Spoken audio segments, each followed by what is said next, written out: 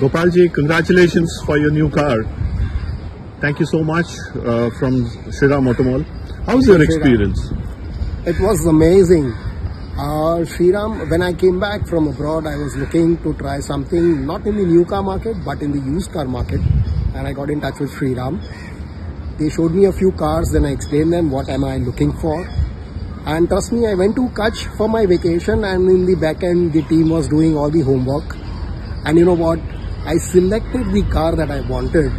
They did all the homework right from sending me the picture to the registration of the car. And मैंने मेरे decision में सामिल को शामिल किया and you know what look at the beauty that I got